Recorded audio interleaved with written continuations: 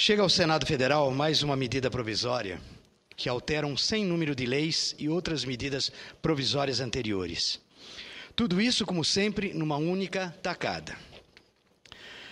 Mais uma vez, o Senado é pautado pelo Poder Executivo e tem que examinar às pressas uma medida provisória com impacto significativo sobre a vida de todos os brasileiros.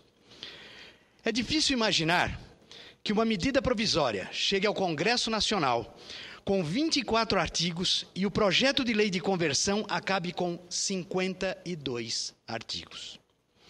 É verdade que dessa vez o conteúdo original da MP enviada ao Congresso pelo Executivo foi pouco alterado pelo relator da Câmara. Todavia, inúmeras outras matérias novas foram inseridas no texto, o que não nos parece caminho para criar dispositivos legais. Vejam, senhoras e senhores senadores, o tamanho da emenda dessa medida provisória.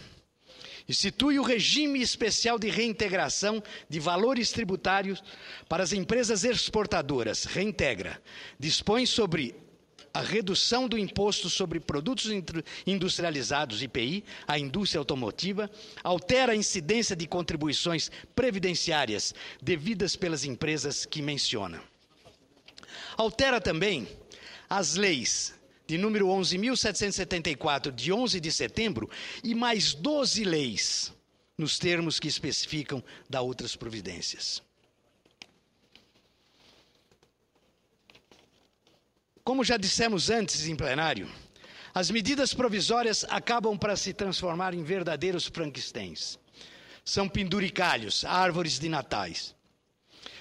Nessa medida em específico, gostaríamos de chamar a atenção para a mudança relativa ao Fundo de Garantia de Serviço, FGTS. Mais especificamente, o FI-FGTS.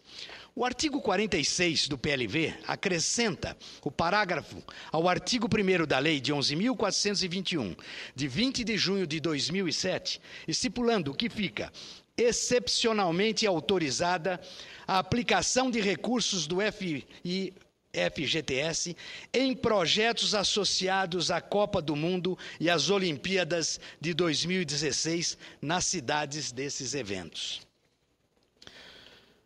Os projetos, senhores senadores, considerados são de infraestrutura aeroportuária, de operação urbana consorciadas de transporte e mobilidade urbanos, bem como de empreendimentos hoteleiros e comerciais. A exigência é que, direta ou indiretamente, as obras sejam necessárias para garantir a realização dos eventos da Copa, em consonância, em consonância com os requisitos de conforto e segurança estabelecidos pela